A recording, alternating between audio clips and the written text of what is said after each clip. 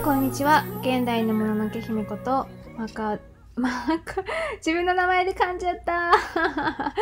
やば。はい。現代のもののけ姫ことマコです。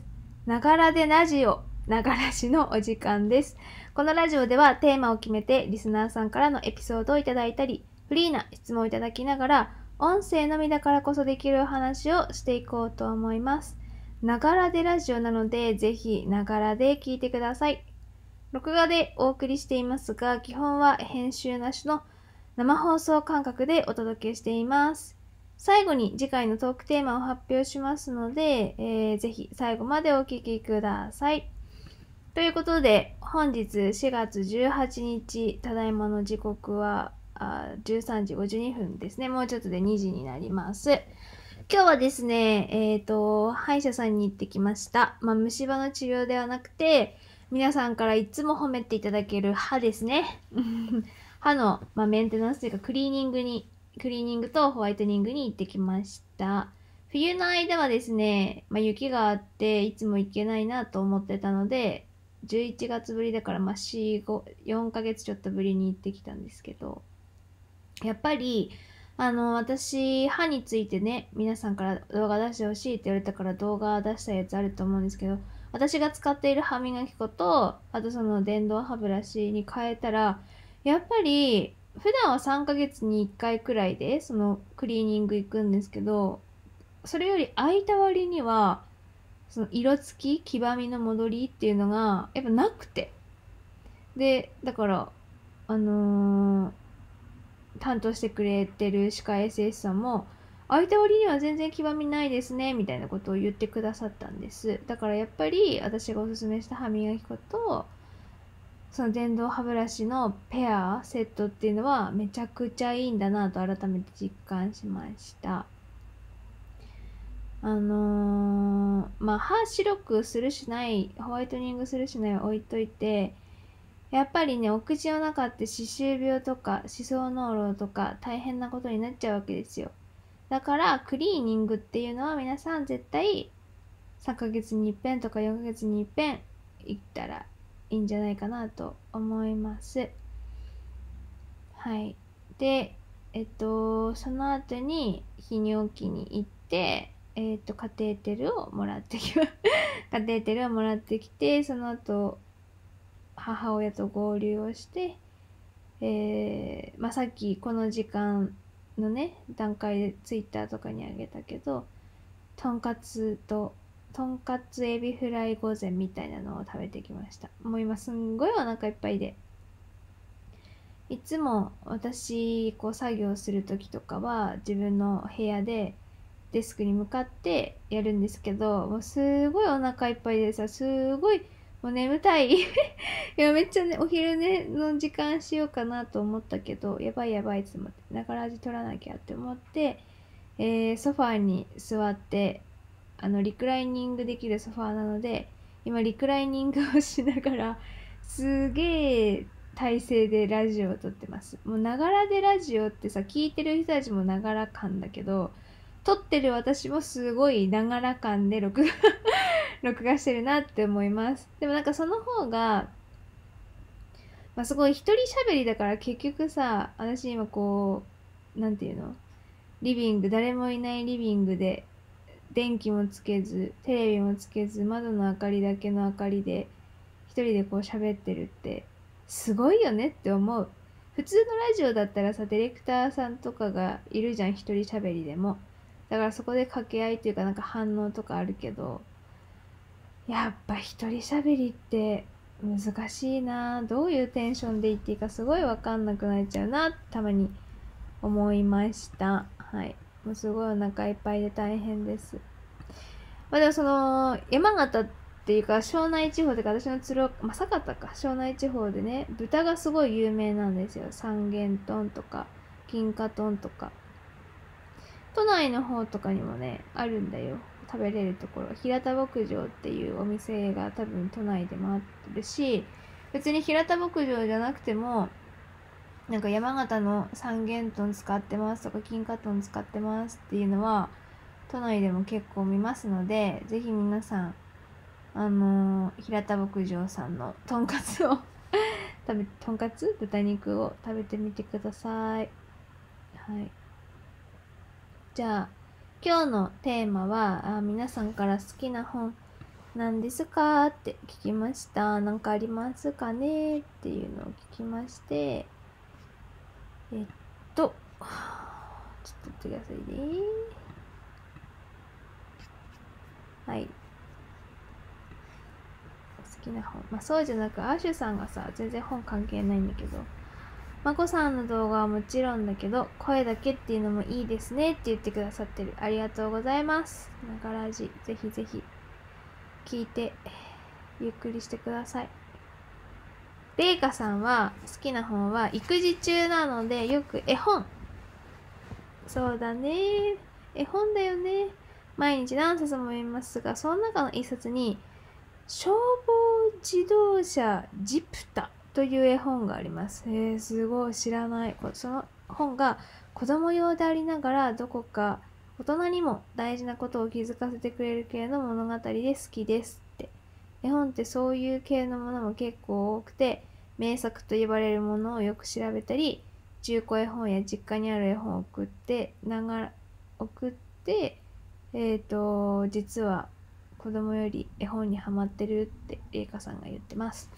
確かに絵本ってさ、甘く見ちゃいけないっていうか、まあ、本当になんか、で、私もおいこちゃん、めいこちゃんがいるわけですよ。めいこちゃんは次で2歳だし、おいこちゃんは今3歳かな？だから、あのー、絵本っていうのもあって、まあ、ただただ、あのー、腹ペコ青虫みたいなね、絵だけのものもあったりするし、やっぱこう文字があって物語がしっかりあってっていう絵本もありますよね。消防自動車ジプタって消防消防自動車ジプタえー、かっこいいんだけどなんかジープみたいな車だね。消防車っていうよりはめっちゃジープの車になってる。えー、すごいかっこいい。消防自動車ジプタの、えー、ぜひ皆さんも読んでみてください。えー、気になりますね。あグリとグラもなんかちょっと関連で出てきたけど。いいよねグリとグラもすごい好きだった。はい。ありがとうございます。私のね絵本も一日一日をハッピーにもあのクラウドファンディングで印刷して、えっと、皆さんに買っていただいたりお返ししたりあと自分の地域の小中学校さんに配り終わっても在庫が今ないんですよね。でも印刷するお金もなくて 印刷するお金もなくてちょっとまだ印刷できてなくてまた、えっと印刷できるようになったら皆さんにお届けしたいなというふうに思います。あ、KKKK さん。今日講演会ありがとうございました。自分の考えが変わりました。これから自分から行動する力をつけたいです。だってありがとうございます。3日前ですね。あのー、山形県の高畑町っていうところがあるんですけど、そこの中学生さんにね、講演会に行ったんですよ。全然本の話じゃなくなったけど、講演会に行って、でいつも、ま小学校とか小学生とかだと、まあ、中学生もかななんかこう先生たちがさ感想を書いた紙を送ってきてくださったりするんだけど、まあ、ないところとかは、まあ、その自分らがね携帯とか中学3年生とかだと、まあ、携帯持ってる子もいるんだろうけどね。私の SNS に来てくれてインスタとかツイッターとかに DM とかコメントであの感想を書いてくれるのお礼とか。えすごい嬉しい。でもさそのタイミングでねその講演会終わった時に何か感想はありますかとか質問ありますかっていうコーナーは一応あったりするんだけど高畑中学校の時に。もうみんなさ恥ずかしがってさあのー、何も言えない手を挙げれる人がねやっぱ少ないわけですよ。だからその人たちにまあ、コメントくれるのは嬉しいよって嬉しいし全然本当に嬉しいんだけどやっぱり直接そこで発言できるねあのー恥ずかしさはあるけど発言できる力っていうのも身につけてほしいなと個人的には思います。小学生、小学校に行くとさ、めっちゃ質問してくるんよね。やっぱ中学生になると恥ずかしさっていうのが出てきちゃうんだろうなって思いました。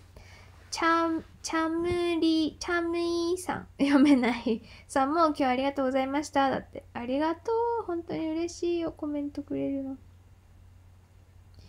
はい。えっ、と、岩見の国ウィルチェアさんは、好きな本ではないけど、金子みすずさんの詩が好きです。だって。すごいね。えっ、と、特に私と小鳥と鈴とみんな違ってみんないの部分がとても好きです。だって。あのー私のね、小学校って、もう今な、もともと分校だったから、もうなくなっちゃったんですよ、学校としては。閉校しちゃったの。ただ、すごい昔の、本当に木でできた小学校、トイレも、もう今でもボットンよ、ボットン。ボットントイレなんだけど、その、もう、なんて、歴史ある建物感というかさ、そういう小学校だから、形として残したいって言ってくださってる方がいて、今その方がいろいろ管理してくれてるんですけど、金子みすずの本とか、なんか金子みすずの詩の読み聞かせとかをその小学校のイベント、跡地を使ってね、やったりしてくれてるんですよ。うん。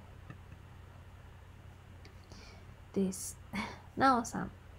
山形県のご実家でながらじしてる時に声が振動するので広いところを撮ってるのかなと勝手に想像してます。あの、パソコンのね、録音機能でやってるんですよね。この家でいる時そのマイクがないから、パソコンの録音機能でやってるんですけど、そうすると、あの、パソコンがウィーって動いちゃう時があるの。なんていうの？一生懸命働いてる時が あると、その時にそのパソコンのさ、働いてる音がさ、ウィーっていうのがさ、すごい入っちゃったりするんだよね。で、広いのは、今までマイクをすごい口元に当てながら喋ってたのを、パソコンの画面に喋ってるから、多分その、なんていうの、機械的な問題だと思います。はい。だっていつも撮ってる、福岡で撮ってる時はリビングで撮ってるから、山形の自分の部屋よりはね、福岡の方が本当は広いんですよ。まあ、なんちゅう話してんだって話ですけど。はい、次。小説。えっと、なおさんは、小説。自分が小説に出会ったのは、那須正元さん、那須正元さんか。のずっこけ3人組って小説だったんだ。ずっこけ3人組シリーズです。だって。えー、手紙を送ってたりしてたし、あと江戸川乱歩さんなどの小説も読んでます。あと池上彰さんの経済のお金とか紛争とかで、まあそういう現代社会の話とか、あとはデール・カーネギーの本とかナポレオン・ヒルの思考は現実化する。なるほど、なるほど。で、とか、畑かなえ、畑、畑って言うんだっけか。畑かなえさんのユートピアや、えーと、は読めない。影帽子。フォルティナの瞳ね、映画を見ました。えー、漫画でハマったのがブラックジャック、少女漫画は7、だとルロケンだって。すごいね。めっちゃ読むんだね、なおさんはね。えー、なんか私本当に映像派の人だからさ、そのずっこけ3人組とかは E テレ？が多分なんかで昔やってて見てたし、もう江戸川乱歩って聞くと私も江戸川コナンくんしか出てこない 出てこないんだよね。そうで、ホルティナの瞳は映画とかでしょ。でもその経済、心理、現代フィクション、ミステリーとか、あの私がすごい興味あるジャンルだなって思います。読みたいね。こう、本を読む生活を私は自分の、あの、リズムに入れたいなって思いながら全然読んでません。もう眠たくなっちゃうんだよね。うん。ステリマンさんは、小田久美さん？小田久美さんって何なんだろう？小田久美さんの千の言葉という歌を、高田久美さんかな？です。だって。へえ。で、別に本を読むのが好きじゃなかったけど、ナルトは読んだことあるっていう話ですね。そう、やっぱ海外の人とかはやっぱアニメをね見る人が多いよねコミックとかでね。へえそうなんだ。お後藤後藤さんも昨日の声ありがとうございましただって。ありがとう。きなこもちさんはえっ、ー、と好きな本小説は特にジャンルは問わないけど実話もの恋愛感動ものが好きだよだって。あと漫画なら「スラムダンク。年代がやっぱり皆さんありますね。まあ、こんな感じで皆さんからの、えっ、ー、と、本を紹介してもらったんですけど、私もね、全然本を読まない人なの。あの、昔、小学生とかの時はさ、絶対本を読まなきゃいけない環境づくりっていうのをさせられてたじゃん。読書感想文とか。で、本当にそういうの好きじゃなくて、えっ、ー、と、一番まず読んでたのが、歴史の人たちの本、マリー・アントワネットとかもそうだし、えーと、徳川家康とかもそうだけどその人たちを描いた本みたいなの絵本みたいなコミックみたいなのがあるんだよね。でもだから中身はすごい漫画なんだけどその人物の人たちの歴史がわかるっていうやつだからそれだってさ図書館にある本だからいいじゃんって思ってそういうのを読んでたしその字だけのっていうのが全然できなくて。あとハマってたのがね「エルマーとリュウ」っていう本がすごい好きで読んでた。シリーズでさ結構いっぱいあってね。そういうのを読んでたし読書感想文ってなったらもう適当に選んでちょっとこう重ためあと違う「裸足の弦」とかもさ昔はあったんですよ。でも私が聞いてる「裸足の弦」とあとね「どんぐりの家」って知ってる？で自閉症の人たちのそういうお家だった気がするけどどんぐりの家もあって、えー、っとその「裸足の弦」と「どんぐりの家」を読んだ時はやっぱり結構衝撃的というかあなんかそういう人たちもいるし「裸足の弦」だったらそういう時代が本当にあったんだなって思ってでも私はすごいあの勉強になったの。でも今の時代ってその小学生とかさ、まあ、その学校判断だけどに悪影響があるっていうので裸足の弦とかどんぐりの家とか置いてない学校さんがすごい多いっていうらしいんだよね。だからなんかそれもどうなんかなって思う。でも本当にどんぐりの家とかね裸足の弦はまた読みたいなって思います。で、まあ、だからその文字だけの小説とかそういうのを読むことがなかったんだけど怪我をした時入院中には暇じゃん。で暇だっていうことで友達が、あのー、本を一冊くれたんですよ。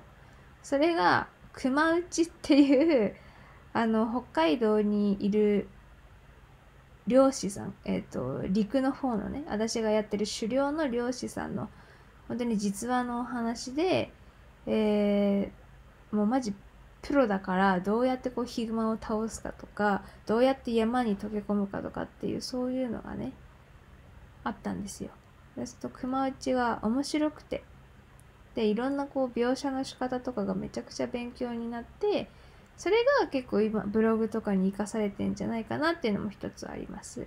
で今気になってるのが性欲っていうあとは嫌われる勇気とかなんかそういうね、マインド系も読んでたことはあったよ。みんな通る道だと思うんだけど。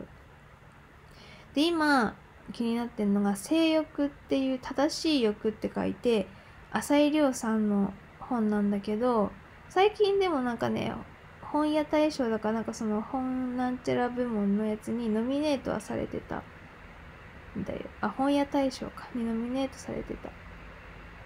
で、まあ、その性欲ってなんだっていう話だけどいや多様性に関してこの時代ね多様性っていろいろあるんだろうけどそれがうんと本当に正しいことなのかどうなのかとかさ多様性って何なのかどうなのかみたいな。なんか結構深く考えさせられたりちょっと胸が苦しくなるような内容らしい。だからこれは共感を呼ぶか傑作品なの？佳作？傑作？佳作？な 佳作か。これは共感を呼ぶ佳作なのか。目を背けたくなる問題作なのかっていうのも紹介文の中に書いてあるんだけど、もうすごい読みたい。ちょっとゴールデンウィークとかね、読んでみようと思います。また読んだら皆さんに感想を言いたいなって思いますし、まあ私と同じタイミングでね、皆さん性欲気になる方はぜひチェックして読んでみてください。私は見たい。で、その本屋大賞に選ばれたのは、同志少女よ敵を撃てっていうやつらしいんだけど、ね、これもどういう話なんだろう。あー。あーとかって自分で 自分であらすじ読んで今納得しちゃった。まあでも、本を読むことって私はすごい大切だと思います。文字をね、読むことって。まあ読まない人が言うのもなんだけど。でも、だから皆さんぜひ本ね、たくさん読んでみてください。はい。ということで、次回、と、次回は、木曜日21日か。あ、21か。21日がね、私、移動日なんですよ。だから、あのー、もしかしたら遅れるかもしれない時間的に。でも、ちゃんと配信しますので。テーマ何しようかね。マジ毎回悩むよ。あ、じゃあ、ゴールデンウィークの予定でも聞こうかな。ちょっと早いけど。そうさ、多分28、そう20、5はできるけど、28ができないんだよね。だから、21日。はい。じゃあ、とりあえず来、次の21日木曜日の中ラジのテーマは、皆さんゴールデンウィーク何しますかっていうのを聞きたいと思いますので、ぜひぜひコメントたくさんいただけたらなと思います。まあ YouTube ゴールデンウィーク、まああまり無理せずにね、え、いつものペースでやろうと思います。はい。はい、そんな感じで、またうまく締めれるかしら。はい。ということで、そろそろお時間になりましたので、次回のトークテーマは、ゴールデンウィーク何しますか？です。はい。ぜひ皆さんゴールデンウィークにちなんだお話をね、コメント欄に記入お願いします。では本日はここまで。また次回お会いしましょう。バイバーイ